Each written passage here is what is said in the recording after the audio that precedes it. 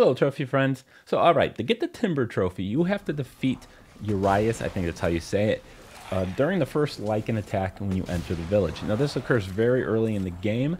Uh, you're going to have the sequence with a bunch of Lycan are going to attack you. You can run and hide. On your first playthrough, that's really what you're going to have to do.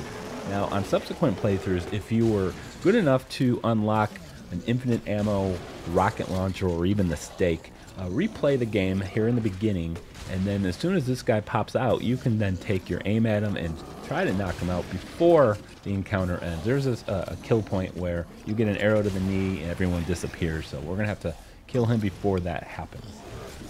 First playthrough, again, you're not going to have any ammo or a good enough gun to, to do this, so just, you know, hide, or at least stay away from him.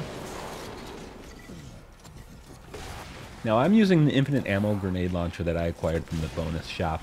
Uh, the reason why I'm using this one is because it's the really the easiest infinite ammo weapon you can get. Because there's no weapon parts for you to upgrade this with, uh, you have access to the infinite ammo cheat right away. I believe it costs 80,000 CP. But we're just going to have to keep spamming and put as many rounds into him as we can before the encounter ends automatically. He's a, he's a tough guy. He's really big, has a lot of hit points. So Timber, there we go. The bigger they are, the harder they fall. Thank you guys so much for watching. Hit that like button and of course, subscribe.